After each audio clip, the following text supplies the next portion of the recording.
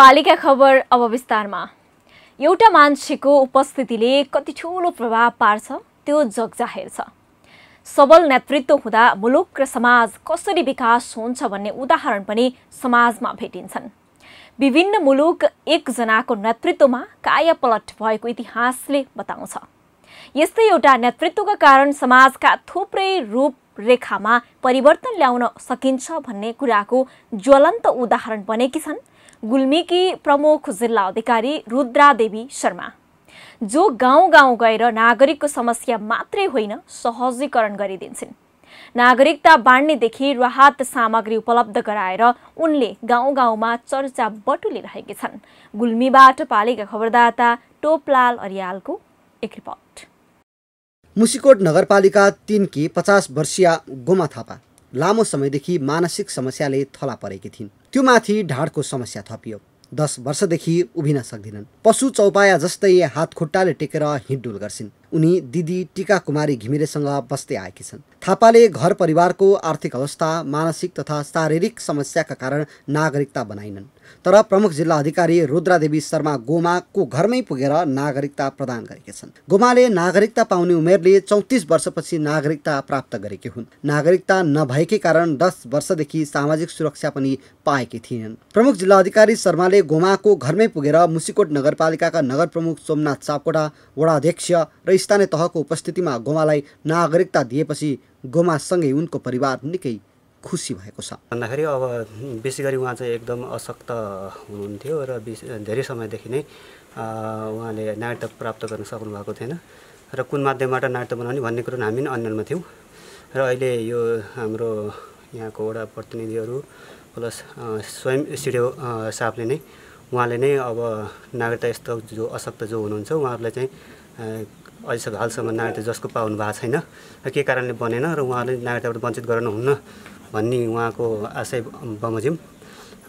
उहाँहरूले जुन तत्परता देखाइदिनु भयो सिडिओ सिडिओ लगायत यहाँका जनप्रतिनिधिहरू सबैले यो नागरिकता प्रदान गर्ने क्रममा यसको लागि धेरै धेरै धन्यवाद छ। ज जसले जहाँ जहाँबाट सहयोग गर्नुभयो सबैलाई धन्यवाद छ। नागरिकताको लागि मात्रै नभएर प्रमुख जिल्ला अधिकारी शर्मा आगलागी बाढी पहिरो र चट्याङ लगायतका विपदका घटनामा ज्यान गुमाएकालाई राहत पुर्याउन पनि पीडितको घर घरमै पुग्ने गरेकी छन्। शर्माको रचनात्मक भूमिकाले विपदको चोटमा पीडित झन्झटिलो प्रक्रिया पूरा गरेर राहतको लागि प्रशासन धाउनुपर्ने बाध्यता हटेको छ। भर्खरै शर्माले मुसिकोट नगरपालिका चार दजाकोटमा र इस्मा गाउँपालिका चार दोहलीमा पुगेर चट्याङ लागेर मृत्यु भएका पीडित परिवारलाई राहत प्रदान गरेकी छन्। शर्माको कामलाई स्थानीय सरकारले समेत प्रशंसा गर्ने गरेका छन्। बाट जुन चाहिँ मृत्यु भयो त्यसलाई राहत पनि उहाँले कहाँ कहाँ यहीँ गाउँमै आएर जुन उहाँले दिनुभएको छ त्यसले घरको परिवारलाई एउटा राहत महसुस भएको छ।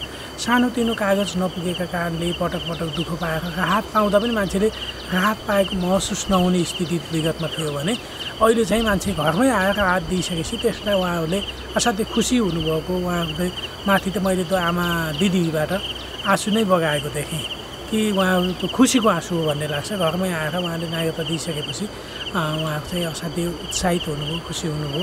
त्यो ढङ्गले चाहिँ यो काम भएको छ। प्रमुख जिल्ला अधिकारी शर्माको जानकारीमा आएसम्म अपाङ्ग र अशक्तको घरमै पुगेर नागरिकता दिने योजना बनाएका छन्। राहतको नाममा परिवारलाई थप दुःख दिनु हुँदैन भन्ने मानसिकता शर्माको छ। त्यसैले त्यस्ता अपाङ्ग अशक्त र विपन्नलाई कार्यालयसम्म सहजीकरण गरिदिन शर्माले सबैलाई आग्रह गरेका छन्।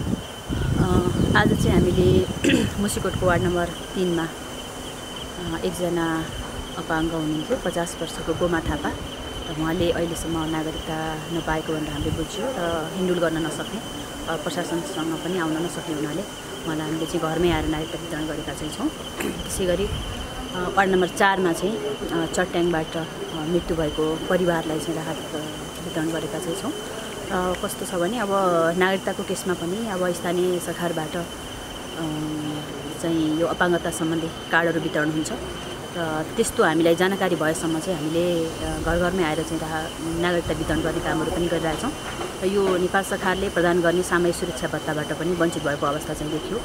हाम्रो खोजी चाहिँ यस्ता व्यक्तिहरू असहाय अशक्त अपाङ्ग व्यक्तिहरू जसले प्रशासनसँग सँगै आउन सक्नुहुन्न उहाँलाई चाहिँ हामीले घर घरमै आएर भए पनि यसरी नागरिकता वितरण गर्ने राहत वितरण गर्ने हाम्रो कार्यक्रम रहेको छ। नागरिकको घर दैलो पुग्ने प्रशासक बिरले भेटिन्छन् तर गुल्मीको प्रमुख जिल्ला अधिकारी रुद्रा देवी शर्मा भने नागरिकता र राहत बोकेर नागरिकको घरमै पुग्न थालेका छन् जसलाई आम नागरिक र सरकारवालाले सकारात्मक रूपमा लिइरहेका छन्।